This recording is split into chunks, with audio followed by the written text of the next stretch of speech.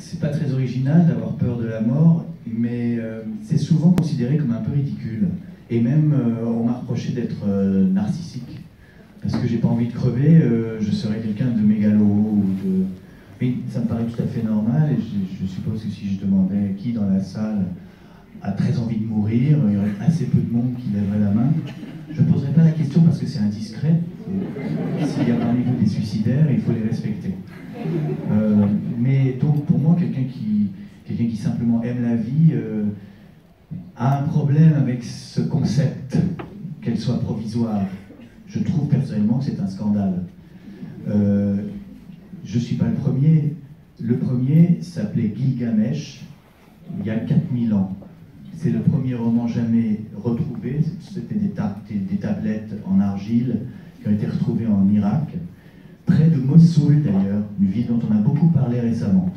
Et près de Mossoul, on a donc trouvé ces petites tablettes en terre avec de l'écriture cunéiforme, et ça raconte l'histoire d'un homme qui perd son meilleur ami et qui ensuite ne veut pas mourir et fait tout un tour de passe un certain nombre d'épreuves, affronte des monstres pour euh, finir par euh, accepter son, son, destin fatal. Mais euh, ce n'est pas mon cas, je ne suis pas Gilgamesh, moi je veux, je veux pas être immortel forcément, mais je dirais que je me contenterais de trois ou, quatre siècles de vie.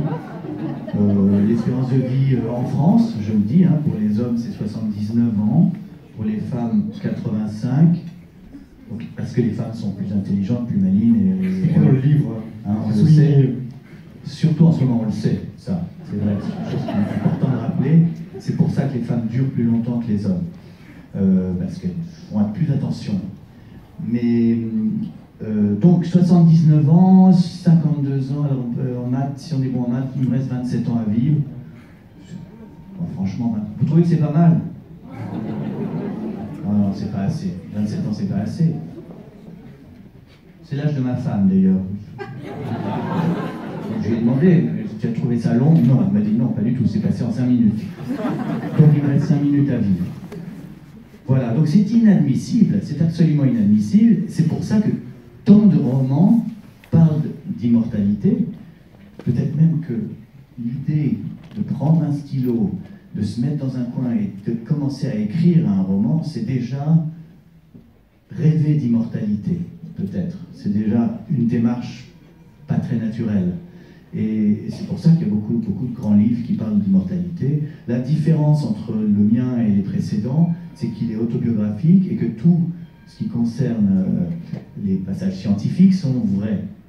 Euh, voilà, la différence, parce qu'il fallait bien faire quelque chose de, nouveau. Oui, en même temps, c'est très appréciable. On, va en parler dans le détail. Alors, le livre, on vient de constater, est très, cultivé, il est très documenté aussi. Vous avez mené une véritable enquête hein, sur une période assez longue, je crois, de, trois années. Euh, cette enquête vous a conduit un peu partout, à la rencontre de médecins ou, de scientifiques en, Suisse, en Israël, aux États-Unis, un, peu à la manière d'un James Bond qui part en mission euh, planétaire. C'est ça, tout à fait. Et, comment cette envie d'enquête est née? Comment, comment s'est-elle structurée finalement Et, surtout, quelle a été l'impulsion au-delà de la, question de votre fille À un moment, on s'attaque à un sujet comme celui-là. Euh, comment on se projette par rapport à ce sujet-là D'abord, euh, j'écris souvent contre le roman précédent. Euh, mon roman précédent se passait dans les années 40, c'était une histoire d'amour entre un grand écrivain, mais qui était un jeune homme à l'époque, et puis Una O'Neill, qui était une jeune femme sublime, new-yorkaise. Tout ça se passait au début à New York, puis ensuite en France et en Allemagne pendant la Deuxième Guerre mondiale. Le livre précédent, c'était un roman sur mon enfance, un roman français. Donc c'était deux livres sur le passé. Et euh, j'ai entendu euh, autour de moi pas mal de gens qui disaient, mais quand même, tu devrais revenir. Et puis on a envie d'avoir ton avis sur, sur le monde actuel, sur la société, le présent, peut-être le futur. Et euh, c'est vrai que j'ai beaucoup écrit sur, le temps présent. 99 francs, Windows on the World, au secours, pardon, c'est des livres qui parlent d'aujourd'hui. Et puis là, je reviens donc à, euh, ce goût pour la satire, mais une satire qui soit très documentée parce que j'ai pris goût à ça, justement, en écrivant des livres sur l'histoire. Euh, l'idée d'enquêter, de, chercher des sources et d'essayer de, de ne pas partir les mains vides quand on écrit un roman, c'est assez agréable.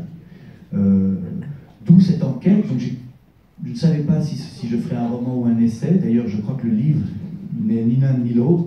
En réalité, c'est la trajectoire d'un homme qui s'appelle comme moi, qui est un peu différent quand même, il y a des petites différences, euh, et, qui enquête sur, euh, sur la vie éternelle. Comment, comment trouver la vie éternelle sans passer par la résurrection, parce que ça veut dire passer par la mort, et ça, je n'ai pas envie d'essayer. Donc, euh, cela dit, il y a tout de même un questionnement sur la religion et sur mon, sur mon catholicisme, que je n'arrive pas tout à fait à fuir. Et donc il y a, voilà, c'est une, c'est une promenade autour du monde et autour des, plus grands chercheurs qui, qui, ont accepté de nous rencontrer. Il y en a beaucoup qui ont refusé aussi, hein, qui se sont dit qu'est-ce que c'est que ce guignol? Mais il y, a, euh, il y en a six que je remercie d'avoir euh, accepté de discuter sur euh, ce concept d'immortalité, puisque depuis 2012, il y a vraiment des découvertes assez incroyables qui, nous conduisent à, rêver, à rêver d'une vie sinon immortelle, du moins d'une vie nettement prolongée. On pose la question de savoir effectivement si c'est un, roman ou un essai. il y a du romanesque dans, cet ouvrage-là. Euh, nous sommes dans un roman, mais vous l'affirmez en dernière de couverture, contrairement aux apparences, ceci n'est pas un roman de science-fiction.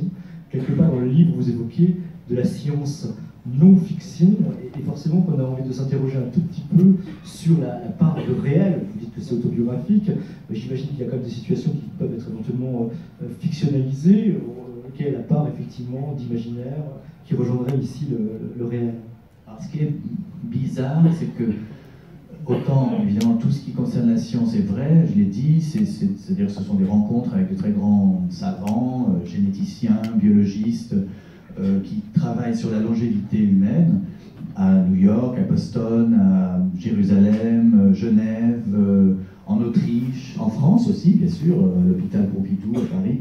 Donc ça, c'est évidemment important de dire que tout ça est vrai, puisque j'engage le nom de ces personnes. J'ai rien changé à leurs propos. Tous ces propos sont vérifiables, si vous voulez.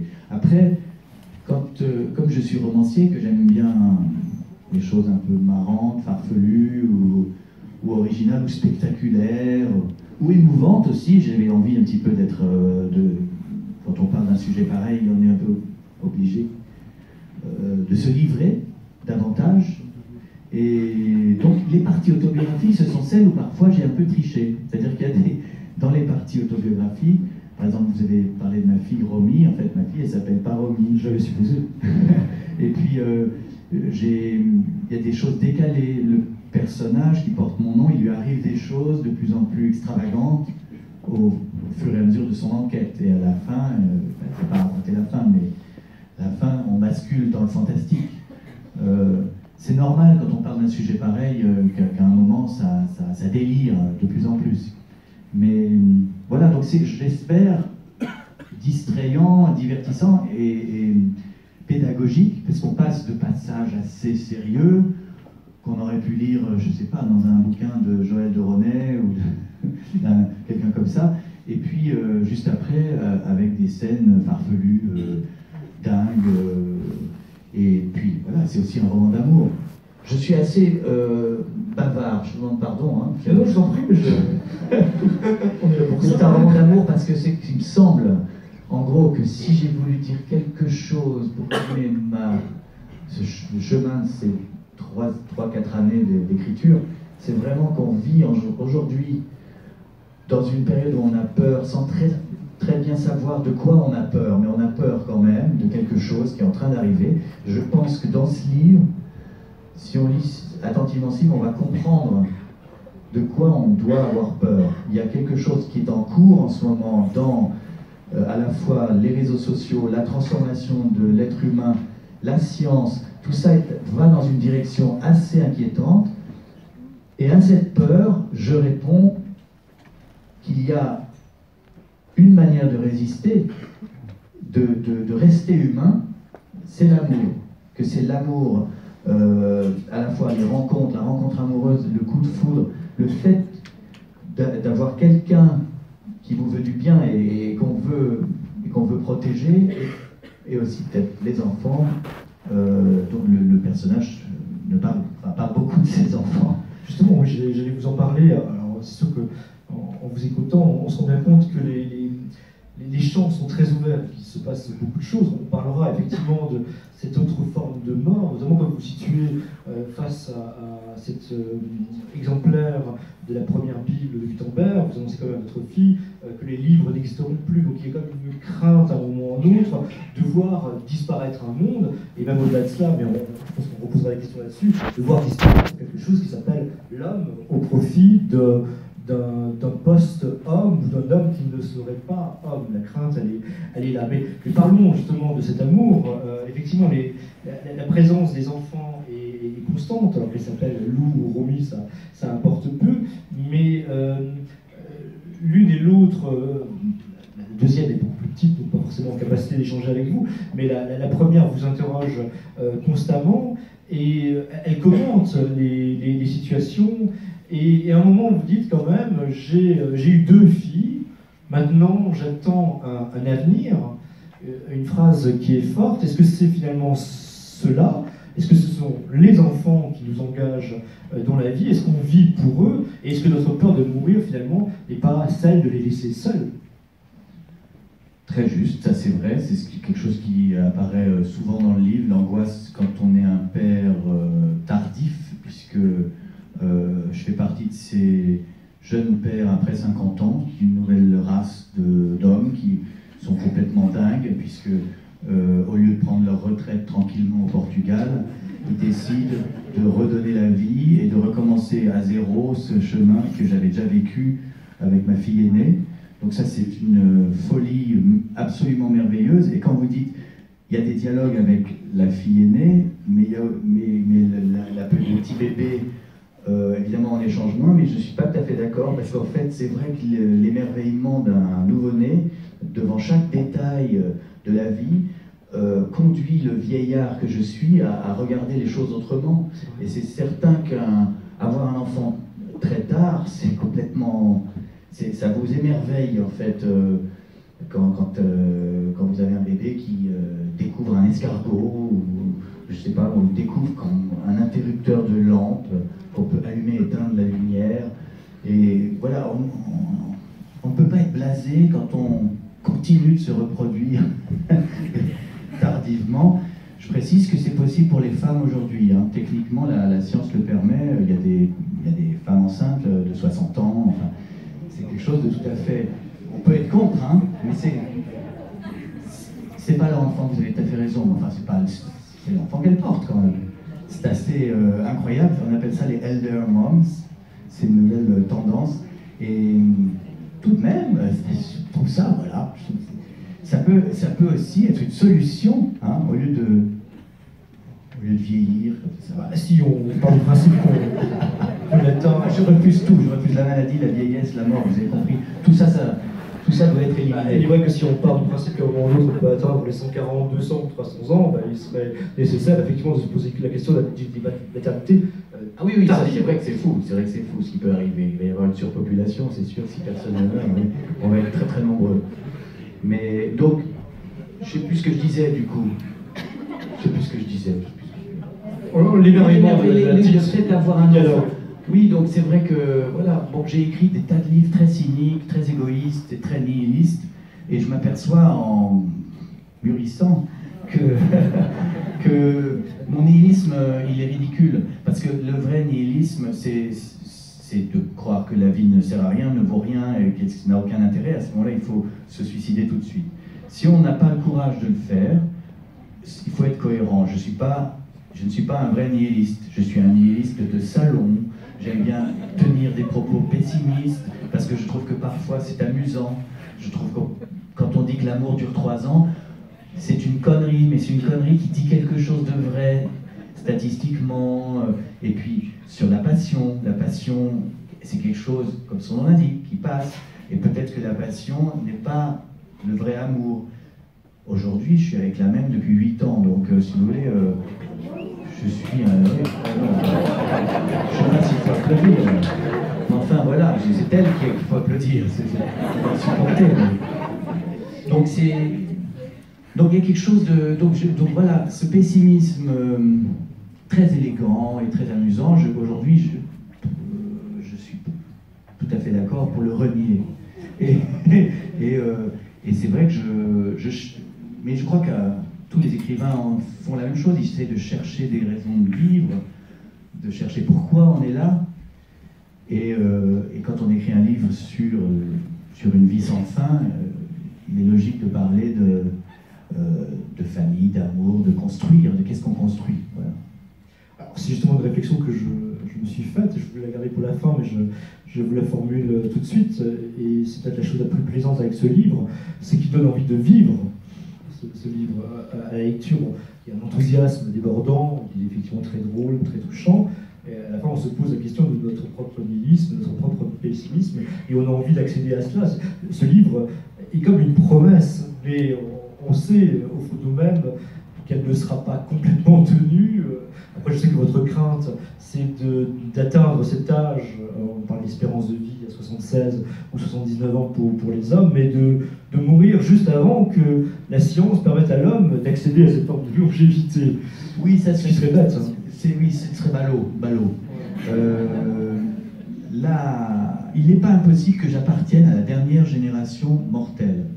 Euh, Hier, j'ai revu André Choulika, qui est donc le, le, CEO de Selectis, une des plus grosses sociétés de biotechnologie euh, créée par un Français franco-libanais, mais qui vit à New York.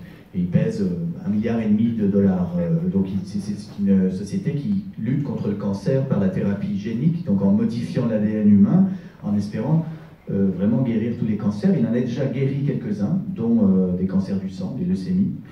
Et cet homme-là affirme très sérieusement que euh, ma fille, ma deuxième fille, Lou, qui a deux ans, elle vivra jusqu'en 2150. Euh, pourquoi alors, Évidemment, je touche du poids tout de suite, hein, je touche du poids. Mais il dit ça parce, parce qu'il dit l'évolution, la, rapidité de l'évolution de la science actuelle est telle qu'on est incapable en fait de prévoir où on sera dans 10, 15, 20, 30 ans, euh, sachant que par rapport à il y a 30 ans, tout n'a déjà plus rien à voir. Des choses qu'on pensait incalculables, comme le génome humain, euh, nos 3 milliards de lettres euh, ATCG qui font notre code génétique, ça, on pensait que ça, mettrait des fortunes et des années et des années pour arriver à les décoder. Aujourd'hui, on fait ça en 3 semaines, ça coûte 200 dollars, et euh, tout le monde peut avoir son génome décodé. C'est, donc, la vitesse de progression de la science est imprévisible, est tellement rapide donc il fait cette espèce de postulat de dire un, enfant né après 2009 vivra nécessairement plus de 150 ans. Euh, voilà, donc euh, je ne sais pas pourquoi je disais ça, mais enfin c'est assez incroyable tout ça. Donc c'est, on est dans une phase où il me semble que je ne voyais pas très bien sur quoi d'autre je pouvais écrire. C'est un sujet tellement central, tellement important, euh, que, à mon avis, enfin pour moi, euh, je, ne vois, ne pas assez de livres là-dessus. J'ai l'impression qu'il faut parler de ça, il faut parler de ce qui va se passer si, la mort est repoussée aussi loin. Euh, ça change complètement tout, ça change même philosophiquement notre manière de vivre, ça change. Après, je m'amuse dans le livre à, donner des exemples. Je sais pas, les crédits bancaires, si vous pouvez rembourser sur deux siècles, vous, vous imaginez, vous pouvez vous acheter des maisons, des yachts, Bon, euh, si, et, réciproquement, dans l'autre sens, pour la sécurité sociale, si on connaît le code génétique de, tous les gens, euh, on ne voudra plus assurer les gens qui, ont des maladies, euh, on pourra prévoir les maladies. Donc il va y avoir des, des, choses qui vont complètement transformer tout. D'ailleurs, la sécurité sociale n'existera plus si jamais, on vit deux siècles. même chose pour les assurances et les assurances refuseront d'assurer quelqu'un si jamais son, ADN euh, comporte des mutations euh, qui amènent à des maladies graves. Donc c'est quelque chose d'effrayant, de fascinant, et je trouve que c'est un sujet euh, qu'il fallait aborder. Après, justement, vous posez effectivement cette question qu'on évoquait tout à l'heure, c'est-à-dire vous posez la question du transhumanisme, et ce qui en découle, c'est-à-dire la naissance d'un homme qui ne serait plus homme, post-humain, mi-homme, mi-robot, mi-on ne sait quoi. C'est la part d'ombre de l'ouvrage qui, plane au-dessus de l'ouvrage avec quand même une inquiétude et peut-être pourquoi pas une forme d'alerte, parce que vous, vous lisiez, on ne lit pas beaucoup de choses sur ces sujets-là, si ce n'est effectivement dans le domaine scientifique, mais ce ouvrage-là peut être fondateur parce qu'il peut euh, amener une réflexion véritable sur, euh, sur ces questions et ces inquiétudes-là. Alors ça, c'est ce qui me passionne chez Huxley, euh, Le meilleur des mondes, ou 1984 Orwell. C'est-à-dire j'ai adoré lire euh, de la, science-fiction toute mon adolescence, et je continue d'ailleurs. Je trouve que le, quand un roman peut servir un peu d'avertisseur, euh, ce qui était le cas des particules élémentaires de Welbeck par exemple, je trouve que ça, c'est de, une, des, une des grandes missions du, du romancier aujourd'hui. On peut assez simplement faire comprendre où on en est aujourd'hui. Pour moi, il y a quelque chose euh, qui a commencé avec, euh, avec la publicité, dont je parlais dans 99 francs, qui, consistait à nous faire obéir, à nous faire désirer des choses artificiellement. Puis la deuxième étape, c'est cette invention en 2004 euh, de Facebook et des réseaux sociaux. Donc ça, maintenant, ça fait une dizaine d'années que ça existe, qui font que les humains sont maintenant non seulement perméables à des désirs euh, décidés dans des, conseils d'administration, mais en même temps carrément livrent leur jardin secret, leur vie privée, ce qu'ils ont de plus précieux au monde, ils le donnent gratuitement, ils le donnent à des compagnies privées qui vont le revendre ensuite à ces mêmes marques pour manipuler davantage les humains. Les humains cessent d'être humains à partir du moment où ils n'ont plus de vie privée. C'est quand même incroyable que toute l'humanité, en un quart d'heure, ait décidé de sacrifier ce qu'elle avait de plus important. Euh, qui on voit, qui sont vos amis, qu'est-ce que vous faites, où est-ce que vous partez en vacances, euh, où vous allez déjeuner. Tout ça, ce sont des données très précieuses qui sont revendues euh, donc par ces gens en Californie qui ont fait des fortunes colossales puisqu'ils ont aujourd'hui les, cinq plus grosses compagnies de, de réseaux sociaux, enfin de choses de ce genre-là, Silicon Valley. oui, les GAFA pèsent, enfin, je veux dire, le poids de, de plusieurs États réunis, quoi, c'est monstrueux. Donc euh, ça, c'était la deuxième étape, et je pense que la troisième étape, c'est celle de la transformation réelle du corps humain. Et là, euh, j'aimerais qu'il y ait quand même un débat, qu'on en parle. Je suis heureux que vous soyez là, qu'on puisse en discuter, parce que pour moi, euh, c'est beaucoup plus sérieux encore ce qui se prépare. C'est-à-dire que voilà, la pub rentre dans nos vies. Ensuite, c'est des ordinateurs qui sont connectés avec nous en permanence et nous devenons tous des lofters, nous devenons des, candidats de télé-réalité, surveillés en permanence euh, en images sur Instagram. Euh, et, la troisième étape, bah, c'est ça, c'est de devenir nous-mêmes des machines avec des implants euh, électromagnétiques dans le cerveau, avec la connexion Wi-Fi, avec les Google Glass, avec les, exosquelettes, enfin tout, est en train d'être organisé pour nous transformer sans qu'on ait donné notre avis là-dessus. Euh, et je vois, très bien comment les choses évoluent, comment on, glisse en fait de l'être humain Homo sapiens, qui était quand même une créature sympathique malgré tout, même s'il y a des défauts. Euh, ça fait 300 000 ans que cet animal mammifère euh, assez évolué existe, et je trouve que c'est un petit peu dommage qu'on le transforme en mutant sans, euh, en discuter. Voilà.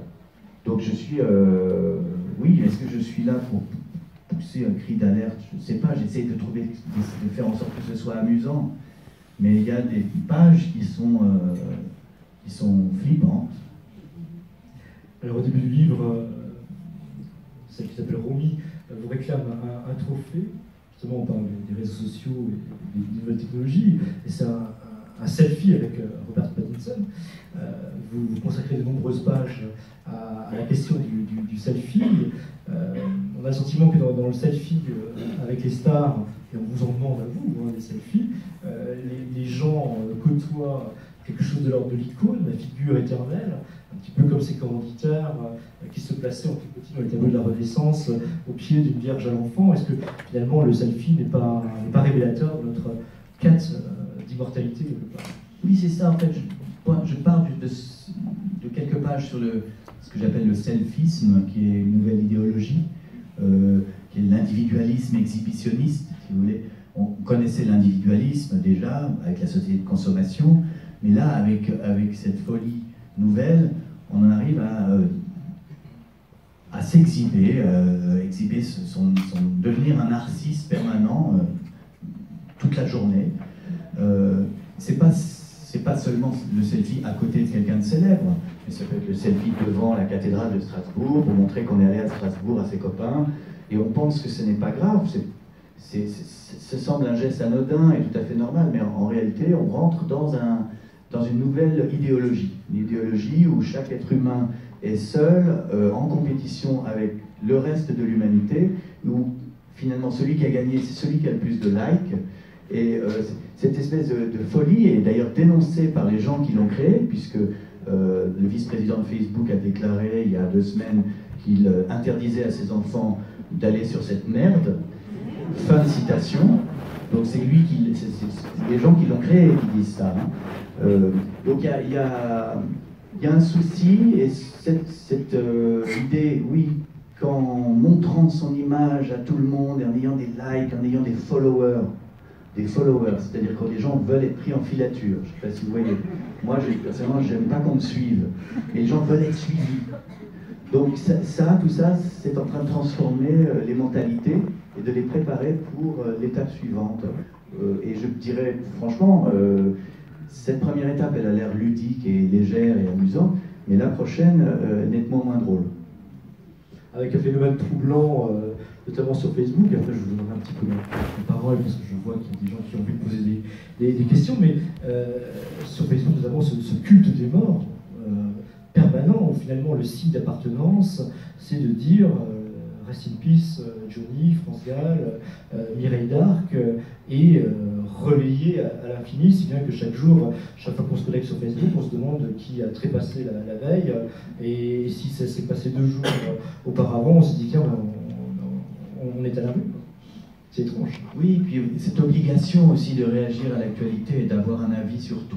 Moi, j'ai pas d'avis sur tout, c'est pour ça que je suis parti de tous ces trucs-là, parce que j'ai tendance à dire des conneries. Euh, et j'ai oui, enfin, je veux dire, si t'as pas exprimé ta tristesse euh, à la mort de France Gall, t'es un salaud presque. Enfin, tout ça est vraiment pour moi, je ne comprends pas ce. c'est sans doute là où, c'est mon premier livre de vieux d'ailleurs, parce que c'est un livre quelqu'un qui commence à rien comprendre au monde dans lequel il vit et, euh, à être euh, un peu euh, inquiet, voire d'écouter. J'avoue que j'ai du mal à comprendre comment on a tous pu se faire avoir. 2 milliards de personnes sont sur Facebook. 2 milliards, c'est un tiers d'humanité à peu près un tiers. Euh, parce que c'était gratuit, peut-être, parce que, je ne sais pas, ça a sans doute eu des, avantages, comme de revoir des camarades de lycée, ou des choses comme ça. Mais dans l'ensemble, bilan plutôt négatif, à mon avis. Il y a peut-être un temps après Facebook, on, verra ça. Est-ce qu'il y a quelqu'un qui. Euh, alors, monsieur, euh, près de pilier, parlait bien fort, je vous ai vu, monsieur. Bonsoir. monsieur Becdélier, vous parliez euh, tout d'abord de votre roman euh, qui est en fait un petit peu une ode à la vie quelque part. Et ce côté très paradoxal où effectivement là vous parliez du, déclin de l'humanité, je vulgarise vraiment, avec bah, Facebook et l'apparition de nouvelles technologies. Quel rapport, vais-je dire, vous faites entre ces, deux phases et peut-être quel monde vous pensez offrir à vos enfants, puisque vous parliez aussi de la, de la assez assez euh, tardive désormais. Comment vous envisagez les choses, par exemple, vous, euh, de par tous ces points de vue que vous avez exprimés par rapport à la très jeune génération, je veux dire, même plus que la mienne? Non, mais je réponds dans le livre. Il y a, le livre, il est, c'est un, roman avec une histoire, avec un personnage très, je dirais, assez désagréable au début, assez énervé, comme je le suis souvent quand j'écris, euh, comme Octave dans 99 francs, si vous voulez, qui, qui a trouvé une nouvelle révolte, s'est échappé à, la télévision, échappé euh, à, toutes ces manipulations et à ces, outils euh, qui nous transforment. Bon, il cherche autour du monde la vie éternelle, et puis après, il faut lire le livre, mais il y a, effectivement un éloge de, la vie simple, de, l'humanité. Au fond, c'est ça. Ne nous laissons pas déposséder de notre humanité. Ce que nous avons euh, c'est quoi? C'est des proches, euh, une vie réelle. Une vie réelle, il suffit d'éteindre son téléphone et d'aller au bistrot, d'aller au, bar du coin, ou se promener, rencontrer des gens. Euh, l'amour, les enfants, mais aussi une vie peut-être plus proche de la nature. moi, j'ai quitté, j'ai démissionné de la télévision, j'ai démissionné d'un magazine que je dirigeais, j'ai quitté Paris, je vis maintenant au bord de la mer. Ça, participe aussi d'un mouvement. Je ne dis pas aux gens de faire tous comme moi. Euh, euh, évidemment, je respecte les, les, envies de chacun, mais je veux dire, euh, dans ma démarche personnelle, c'est vers ça que c'est là que je me sens mieux. Je me sens mieux dans une forme de simplicité, de vérité. et j'ajouterais aussi, parce qu'il n'y a pas que cet éloge du retour à la terre ou à la famille, mais mais il y a aussi la littérature. Pour moi, la littérature, c'est une forme de résistance. Si vous êtes tous ici dans une librairie, euh, c'est un endroit particulier. Une librairie, c'est pas. Voilà, c'est un endroit justement où on éteint son téléphone, a priori, on, est, euh, on, vient parce qu'il y a des livres qui sont des vrais objets en papier, qui ne sont pas des écrans. Et on sait qu'un livre, ça va vous prendre des heures, des journées, des semaines. Euh, de silence, de solitude, vous allez entendre la voix de quelqu'un d'autre qui va se mélanger avec vos pensées, vous allez... Je dirais que pour moi, la littérature nous rend vraiment humains. Elle nous rend vraiment humains. C'est-à-dire qu'elle nous fait utiliser notre cerveau et non pas obéir ou, euh, ou accepter d'être espionné. Un livre ne vous espionne pas, il ne note pas les données que vous... Vous voyez ce que je veux dire? Il ne donne pas euh, à des marques la possibilité de connaître vos goûts, parce qu'un livre, c'est totalement déconnecté. Vous êtes, vous êtes connecté avec l'auteur. Voilà, c'est deux êtres humains qui discutent en fait. Quand on lit, on discute avec Montaigne, on discute avec Balzac, avec euh, Bret Easton. On discute, on, entend une voix et on, y mélange les images qui nous viennent, qu'on crée nous-mêmes. Ça, c'est quelque chose, pour moi, j'ai vraiment toujours beaucoup défendu la littérature parce que je pense que c'est vraiment peut-être notre seule chance de rester pleinement des êtres humains. Je vais déjà parler dessus, juste une question intermédiaire. C'est amusant que vous disiez cela parce qu'en fait, j'ai trouvé, peut-être surpris, mais des résonances avec euh, l'ouvrage d'un de vos amis, euh, Simon Liberati, Rameau Noir. Euh, au, niveau, au niveau de la structure, au niveau de la tonalité, pas forcément, mais il y a quelque chose de cette vitalité-là liée à à l'écrit et à, la culture de, l'écrit. C'est un, ami très proche et, évidemment j'ai beaucoup d'admiration pour euh, le travail de Simon. Ce livre-là est particulièrement extraordinaire, je dois dire, c'est le, livre où il parle de son père, son père qui, vit toujours, qui est un poète surréaliste, euh, et en mélangeant euh, son érudition, son goût pour l'écriture, il nous raconte comment il est devenu écrivain, au fond, comment il est devenu écrivain, peut-être pour réaliser le rêve de son père, ou pour battre son père, peut-être sur son terrain, je ne sais pas. Il y a, et c'est vrai qu'il y a le point commun Simon et moi, bah, c'est qu'on euh, on a passé les 50 ans et qu'on commence à, se poser les mêmes questions. Euh, et à travers la poésie, les livres, la lecture, l'écriture sont... Euh, sont notre façon de vaincre la mort. Je, pense que c'est euh, c'est banal de dire ça. Jean d'Ormesson a vaincu la mort en écrivant un livre qui, sur lequel le titre c'est Et moi je vis toujours, qui sort un mois après sa mort. Pour moi, quel symbole euh, extraordinaire. Euh, voilà, la vie éternelle, ça implique beaucoup de choses. C'est pas seulement d'aller voir des, des médecins. Monsieur, bonsoir. Euh, euh, le thème de votre roman m'a beaucoup fait penser à la possibilité du livre de Michel Houellebecq. Et on peut aboutir à la même question, justement. Euh, qui parmi nous mérite la vie éternelle Oui, c'est une question qui est posée dans son très beau livre. Michel a lu Une vie sans fin et il a beaucoup aimé les passages scientifiques. Ça l'intéressait peut-être plus que les scènes avec mes enfants, parce que ça, ça ça, ça l'a emmerdé. Mais, mais, euh, mais la, ce qui l'intéressait, c'est qu'en fait, il a beaucoup misé sur le clonage humain. Il pensait vraiment à l'époque euh, que le clonage serait une, solution euh, pour surmonter la mort, qu'on allait fabriquer des clones donc, qui nous ressembleraient, qu'on allait transférer nos souvenirs et nos, notre cerveau dans, dans ce, nouveau corps. Bon, voilà, je, je pense, moi, que c'est une piste scientifique, mais il y en a aujourd'hui beaucoup d'autres. J'en ai dénombré huit dans mon livre de, euh, comment dire, de direction de la recherche actuelle où vraiment on, est très proche de tripler la longévité euh, humaine. Donc ça c'est assez euh, saisissant. qui parmi nous mérite la vie éternelle? Hmm. En tout cas, cette question-là, elle va se poser aux, scientifiques et aux chercheurs, et puis peut-être, par extension, à toute notre société. il faudra choisir parce que si on a un moyen, par exemple, de guérir le cancer, mais que le cancer, euh, ça coûte 2 euh, ou 3 millions de dollars l'injection pour, pour, soigner la personne, ça veut dire que euh, qui parmi nous méritera la vie éternelle? Les riches. Ce seront les riches. Ce seront justement ces inventeurs de Facebook en Californie qui, eux, sont obsédés par cette idée et ils dépensent toute leur fortune pour ça.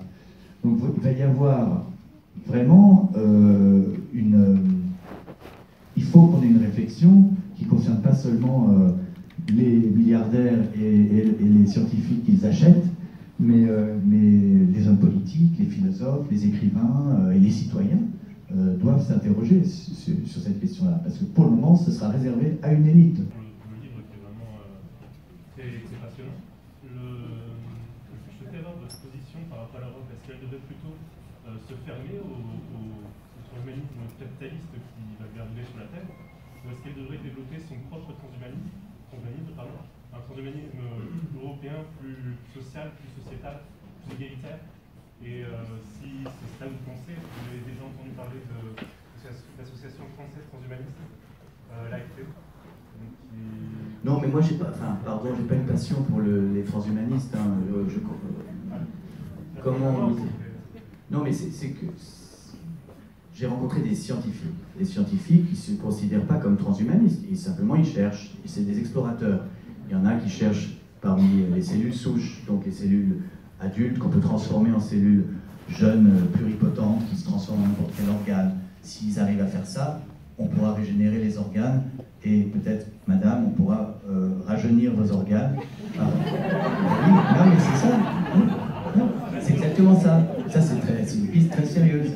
Il y, a, la génétique. La génétique, si on modifie l'ADN, si j'explique tout ça dans le livre, enfin, si on arrive à euh, corriger les mutations, découper l'ADN et enlever les mutations nuisibles, comme le cancer, Alzheimer, Parkinson, ça veut dire qu'on guérit des maladies qui font des millions de morts. Donc c'est quelque chose, ces gens-là, c'est vraiment on les compare beaucoup à Frankenstein, je dirais que c'est plus Christophe Colomb, qui sont en train de chercher des choses. Malheureusement, il y en a parmi eux qui sont des charlatans, qui sont aussi, euh, comment dire, qui ont mis au point cette idéologie un peu folle du transhumanisme. Je ne critique pas totalement parce que c'est un rêve, mais, euh, mais je trouve que c'est une utopie qui est dangereuse, malgré tout. Euh, alors, Luc Ferry me reproche d'avoir dit que les transhumanismes étaient tous des nazis. Je n'ai jamais dit ça. En revanche, j'ai dit, et je maintiens, que les nazis étaient des transhumanistes. Les nazis rêvaient de créer une race supérieure. C'était leur utopie. Ils voulaient un homme augmenté, un homme qui soit comme un dieu. C'était les discours d'Adolf Hitler. Donc, euh, moi, ça m'effraie. À partir du moment où on veut créer un surhomme, ça veut dire qu'il y aura des sous-hommes. C'est comme ça. Il y aura donc des gens qui seront fusionnés avec les robots, qui seront corrigés génétiquement, augmentés, euh, euh, qui auront la Wi-Fi dans leur cerveau et tout ça. Et puis vous aurez d'autres gens. Qu'est-ce qu'on en fera des autres gens? Qu'est-ce qu'on fera des autres gens? Il y a un, savant de l'université de Coventry qui a dit ceux qui ne seront pas euh, passés à l'augmentation, c'est-à-dire qui n'auront pas été transformés, seront les chimpanzés du futur. Alors voilà la situation. Donc oui, s'il y a des associations plus sociales, plus européennes, qui se soucient d'intégrer ces découvertes géniales sans participer à une idéologie complètement barjot et, disqualifiée par l'histoire. Parce que quand on rêve d'augmenter l'homme, de faire des hommes supérieurs, je suis désolé, Mais ça, l'histoire nous a appris que c'était pas quelque chose de bon pour l'humanité. Donc voilà, si, voilà, ben, je prendrai votre carte avec plaisir. Autre question oui. Oui. madame. Voilà. Moi, je trouve que j'ai pas lu votre livre. Il paraît qu'il est optimiste, hein, euh, donc c'est très bien. Moi, hier, j'étais à côté au cinéma euh, l'Odyssée. Il y a des séances qui commencent, euh, il y en aura quatre ou cinq, pour sauver euh, la planète, parce qu'on parle plutôt de que l'homme risque de disparaître à cause de la pollution, de l'industrie, etc. Alors, euh, je ne sais pas si dans votre bouquin vous en parlez, je ne l'ai pas lu, là. Alors, euh, ou alors c'est votre prochain bouquin euh, pour ré- réveiller tout le monde, parce que c'est déjà le plus gros point, au lieu de parler de transhumanisme, on est déjà très touché par, sur notre planète, c'est une catastrophe. Euh, Hier soir, il y avait Al Gore au cinéma sur, qui lance un grand bruit pour réveiller les citoyens. Voilà, c'est ce que je voulais vous dire. Oui, oui. Alors c'est amusant parce que oui, j'en parle dans le livre et à un moment je suis à Jérusalem, à l'hôpital hébraïque de Jérusalem, où il y a un, service euh, qui est un des meilleurs euh, au monde, justement à propos des cellules IPS, donc les cellules souches, mais créées artificiellement à partir de cellules adultes. Ce qui est fou, quoi. C'est qu'on rajeunit, hein, vraiment, je vous dis, on rajeunit. Ah, ça marche sur les souris. Ça n'a pas, encore été- ça pas encore été testé sur les humains. Mais bon, des souris qui rajeunissent de 60% hein, quand même, 60%. Bref, et donc euh, je parle à ce chercheur qui s'appelle Yossi Bouganim, qui a eu le prix de la revue Science, qui est vraiment, euh, en plus, euh, il est assez, enfin il a une tête, on dirait Jason Statham, c'est vraiment un héros. Quoi. Alors lui, c'est lui James Bond en fait. Et, euh, et lui, euh, je lui parle de, cette quête euh, d'immortalité tout ça, enfin n'importe quoi, comme vous dites. Et il me dit à peu près la même chose que vous. Il dit, vous savez, la... peut-être qu'un jour on vivra 350 ans, mais le problème c'est que d'ici un siècle, on n'aura peut-être plus de planète. Donc votre question, je dirais, votre question sera réglée, puisque de toute façon, s'il n'y a pas de planète, il n'y a plus d'humanité. Euh, et il me quitte comme ça, il me tend la main et tout. Je prends l'ascenseur et je me dis, ah, l'humour juif quand même.